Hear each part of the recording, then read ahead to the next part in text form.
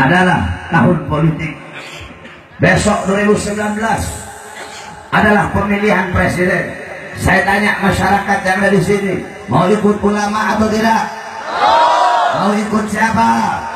Mau ikut siapa? Mau ikut siapa? Kurang keras, mau ikut siapa? Mau ikut siapa? Mau berada di bawah bendera siapa? Mau ikut komando siapa? Mau berada di jalan siapa? Mau memilih calon yang diusung oleh siapa? Saudara-saudara sekalian yang dimuliakan oleh Allah Subhanahu wa taala. Besok ada dua calon. Besok ada dua pilihan saudara-saudara. Pilihan pertama adalah seorang calon yang diatur oleh ulama, nurut sama ulama, taklim sama ulama, datang kepada ulama, yakni calon presiden pilihan ulama. Di sisi lain ada ulama pilihan presiden. Oleh karenanya hadirin sekalian, Al-Imam Abu Aswad Ad-Du'ali. Tahu Abu Aswad Ad-Du'ali? Beliau itu yang ngarang ilmu nahwu. Beliau pernah berkata, apa kata beliau? Al-muluk hukamun ala nas. Para raja, para penguasa, para presiden, para pemerintah, mereka mengatur rakyat. Terus siapa yang bisa mengatur mereka? Al ulama hukamun ala muluk.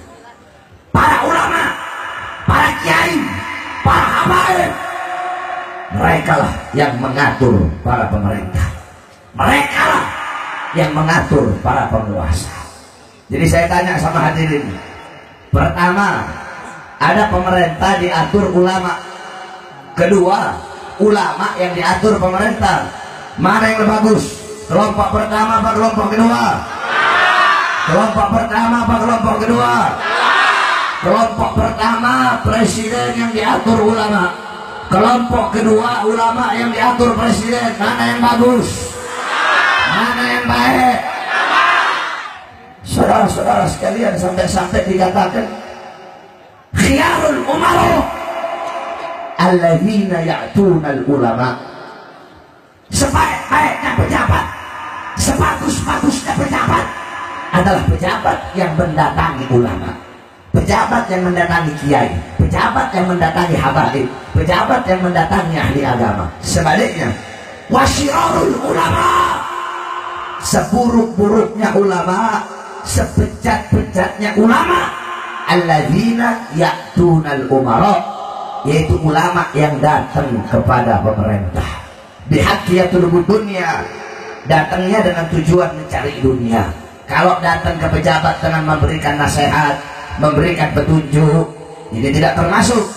Tapi kalau mendekati pejabat datang ke pejabat datang ke istana datang ke kerajaan mereka berada di depan pintu sudah mereka dengan tujuan harta, tujuan uang, tujuan kejayaan, kemakmuran maka mereka termasuk dalam seburuk-buruknya ulama. Itu yang kedua. Yang ketiga ada satu makalah seperti ini. Khairul malik alladhi yasduru bi ijtihadil ulama paling baiknya seorang pemimpin paling baiknya seorang raja paling baiknya seorang presiden adalah pemimpin, presiden, sultan yang bersandar kepada pendapat para ulama. Sebaliknya, wasyarul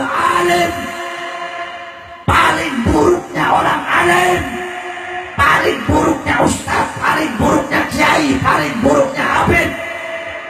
Alladhi yasnuru bira'yil muluk bira'yil salatin bira'yil umara. Paling buruknya ulama paling buruknya kiai paling buruknya ustaz paling buruknya habib yaitu ustaz kiai habib yang bersandar kepada pandangan pendapat atau peraturan para penguasa. Kalian sudah paham maksud saya nggak perlu saya jelaskan lagi jadi pejabat diatur ulama itu yang bagus. Bukan ulama yang diatur pejabat saudara-saudara. Betul? Nah kemarin ulama-ulama kiai habaib yang istiqomah eh, para ustaz, para kiai, para habaib yang nggak bisa dijual, nggak bisa dibeli, nggak bisa disogok, nggak bisa disuap telah melakukan istimewa perkumpulan bermusyawarah. Mereka datang pakai duit sendiri bayar hotel sendiri makan beli sendiri. Nggak didanai oleh partai mana pun. Nggak didanai oleh calon yang akan dipilih nah nah di situ datang satu calon Prabowo. Ulama menyodorkan 17 integritas 17 syarat. Kalau Prabowo tanda tangani Prabowo setujui. Maka para ulama, para kiai, para habaib, para santri, para pemuda-pemudi Islam umat Islam Indonesia akan mendukung dan memenangkan Prabowo Sandi. Akhirnya dia nurut dia mau dia setuju mau ikut ulama nurut sama ulama mau ikut aturan ulama. Oleh karenanya saudara-saudara sekalian yang dimuliakan oleh Allah Subhanahu wa taala maka kami sampaikan kepada kamu semua kalian para kepala-kepala keluarga jadikan rumah-rumah kalian. Kalian para tokoh masyarakat jadikan kampung-kampung kalian. Kalian para ustaz para kiai para habaib jadikan majelis kalian. Pondok pesantren kalian panggung-panggung ceramah kalian sebagai lahan untuk memenangkan calon yang diusung ulama yaitu Prabowo dan Sandiaga Uno saya siap menangkan Prabowo. Siap menangkan calon yang diusung ulama Allahu Akbar. Allahu Akbar. Allahu Akbar. Saya tanya masyarakat sini jawab yang keras jawab yang jujur. 2019 mau ganti presiden atau tidak? Ganti atau tidak? 2019 ganti presiden atau tidak? Ganti presiden atau tidak Robert kenapa dibiar presiden pendusta presiden pembohong presiden yang berjanji palsu presiden pengkhianat presiden yang tunduk kepada asing presiden yang bisa diatur presiden yang menjadi boneka asing presiden yang menjadi boneka Taiwan presiden yang hidup senang hidup kenyang di saat rakyat susah dan kelaparan. Presiden seperti itu harus diganti dengan presiden yang lebih baik oleh karenanya suara kalian sangat berarti dan sangat berharga bagi Indonesia ke depan. Amin.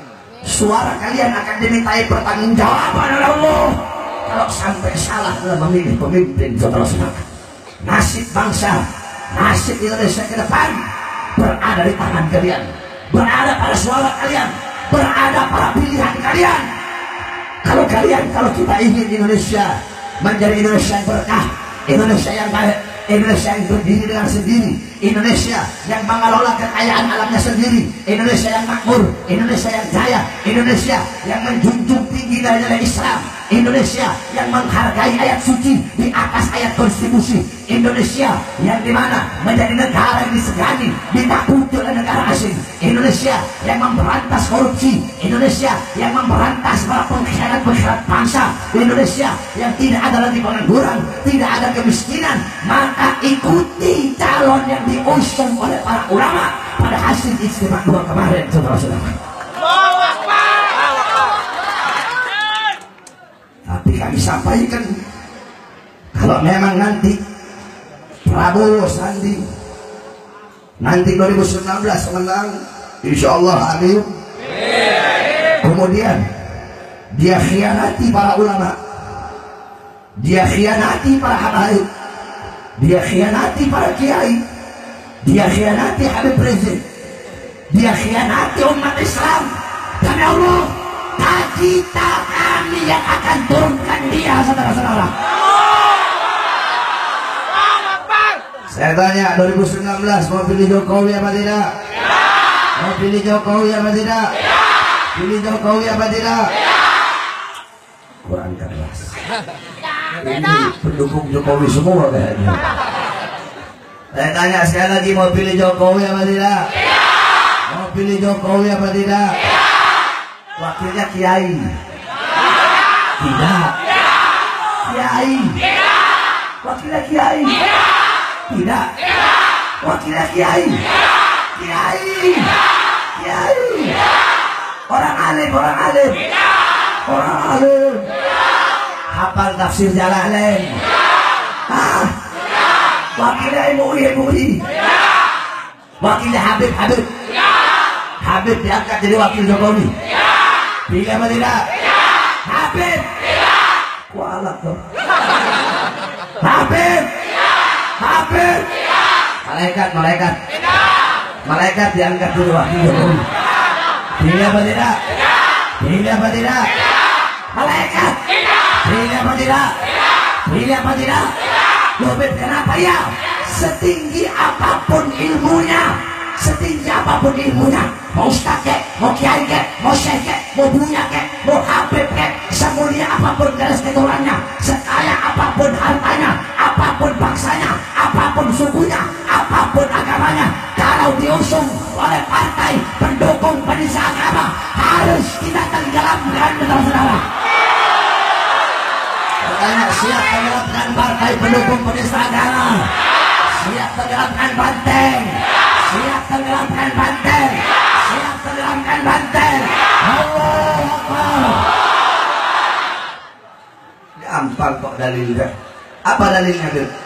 Ida taghayyara ruus taghayyara marus Udah itu aja. Taghayyara ruus Ida taghayyara ruus taghayyara marus Kalau kepalanya udah rusak, pemimpinnya udah rusak, maka semua ke bawahnya bakal rusak. PDI ketuanya siapa? Ketuanya siapa? Mak Bantengnya udah rusak. Mak Bantengnya udah rusak. Calon yang diusung sama Mak Banteng ini mutabik pengikut. Pasti nurut sama partai. Siapa pun dia mau sebagai mau kiai mau habib. Partainya udah rusak. Takhayyara ruus Ida takhayyara ruus takhayyara marus. Siapa pun yang diusung pasti ikut usung contoh Kapitra. Kapitra sebelumnya pengacara Habib Rizik.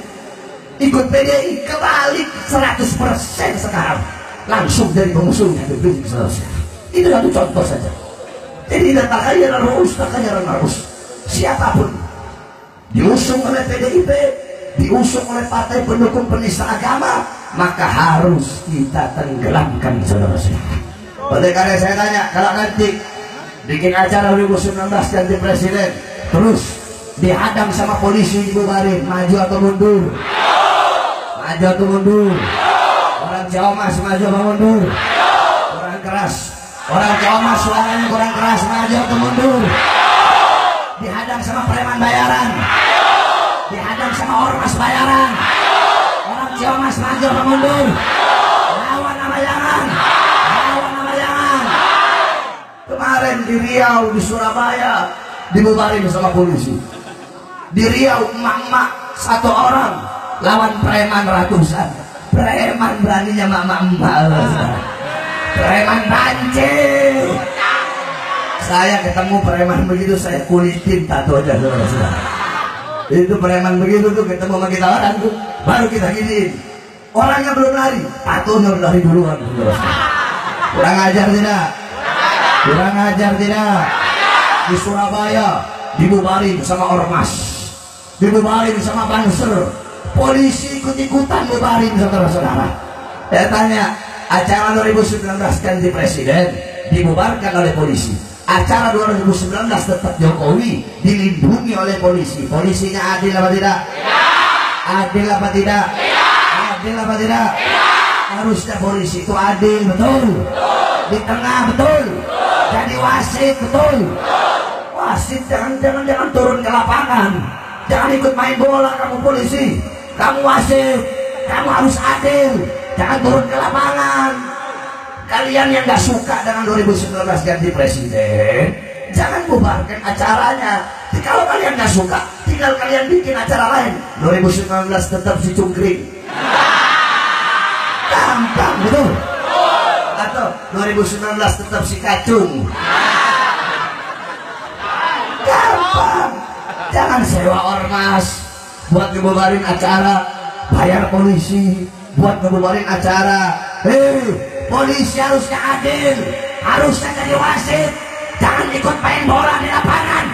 Kami sampaikan kepada kalian para polisi kalau kalian sudah turun ke lapangan siapa pun mau polisi kek mau ormas bayaran kek mau preman bayaran turun ke lapangan untuk menghadang demi Allah kami tidak akan diam kami para santri para laskar para pendekar akan turun ke lapangan berjuang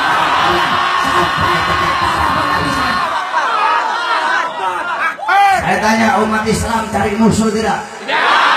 Orang Jawa Mas cari musuh apa tidak? Cari musuh apa tidak? Pemuda-pemudi Islam Jawa Mas suka cari musuh apa tidak? Suka cari lawan atau tidak? Tapi kalau musuh datang melawan, jangan maju mundur. Maju mundur.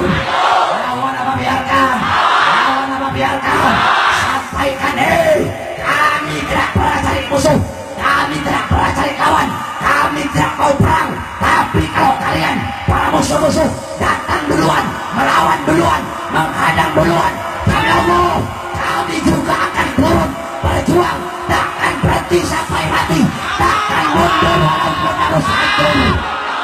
Allahu Akbar. Jawab yang keras, siap berjuang, siap berjuang, siap berdarah, siap menangkan calon yang diusung ulama, siap taat komando ulama. Allahu Akbar, Allahu Akbar, Allahu Akbar. Mudah-mudahan Allah berikan Indonesia pemimpin yang baik. Pemimpin yang taat. Dan patuh kepada Allah. Amin ya rabbal alamin. Terakhir, sebelum saya tutup, saudara-saudara, saya sedang bangun pondok pesantren dan dari dulu udah saya bilang bahwasanya majelis saya, pondok saya haram jada terima bantuan dari pemerintah.